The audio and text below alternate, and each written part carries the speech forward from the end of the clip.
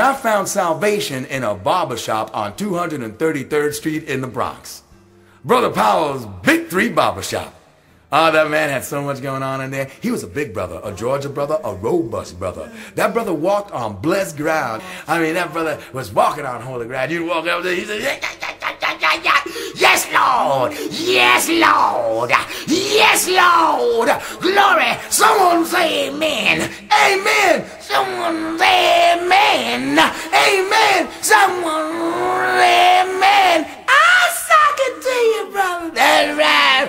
Brother Powell, take it easy, man. I just came in here to get a haircut, yo. That's right, boy. We gonna just cut you up today. Just make you look special, cause that's what y'all doing. You're special in our eyes. I mean, that brother had a jumping barbershop. It was a combination church and barbershop. He had seven barbers on one side, seven barbers on the other side. They were all ministers. They cut hair six days a week, and on the seventh day, they saved your soul. Yes, Lord. Yes, Lord. He had gospel music playing up on that on that on that stereo. He had a sermon going on on a TV set. Yes, Lord. He be dancing and cutting and dancing and cutting and dancing because that brother could dance when he was cutting hair. He was the swiftest hair cutter. He just hooked you up, man, line you up, glory, glory. And all the time he'd be talking to you, talking and dancing and cutting, talking and dancing and cutting. And when he thought he had you right in the palm of his hand, he would reach right in and say, Son, have you found Jesus? Jesus? What? Is he missing? Jesus? Have I found Jesus? Eh, I think my mother got him breakdancing on a cross in the house. Jesus? Yo, Jesus, he stole my car, yo. Have you seen him? No, son, have you, have you found Jesus? you boys out here just, just acting all crazy. You think we don't know what you're doing, but you're acting crazy. hey, brother, Jack Today says he's acting crazy. Uh, that brother acting crazy. That brother always crazy. Hey, I think I have a problem. Shut up, boy.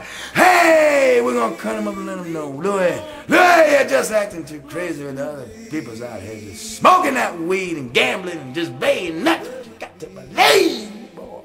You see, in the beginning, there was a beautiful game of love and wonderment. Yes, Lord. And that game was within the light. And whoever reaches for that light and brings back down to earth brings back peace. And to the extent of his reach is to bring back the divine. Be careful, Louis. You corrupting the beautiful game into the great game and compromising every truth along the way. Well, that man's spirituality, the poetry in his words, God, that hooked me up. I knew I had places to go, things to see things to write about. I was ready. I had an adventure up in my and that was gonna go straight through. But first, Brother Powell leaned in and hooked me up before I left on my adventure. Yes, Lord, would you like to go have some breakfast after your cut? Free food? What Puerto Rican would pass that up? We went over to the diner on 233rd Street right under the number two train. Brother Powell came in. He knew the whole place like the back of his hand. Hello, Sister Johnson.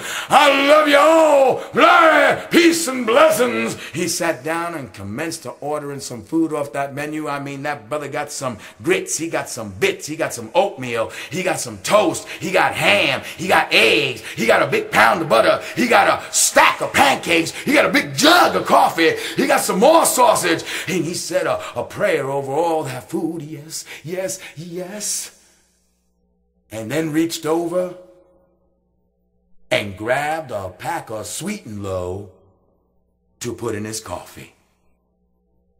Now, me being a Puerto Rican I am, I couldn't fast this up, man. I mean, I went real Puerto Rican on him. I said, mira, mira, mira, mira, mira, mira. Mira, brother, Paul, ¿qué es eso, brother? Que meterle es, ese sweet low en el café con ese montón de pancake que tú tienes ahí al frente de ti. Yo, brother Powell, yeah, yeah, yeah, yeah, yeah, yeah, yeah. How man, how man you gonna put that sweet low up in that coffee when you got that big mountain of pancakes there in front of you?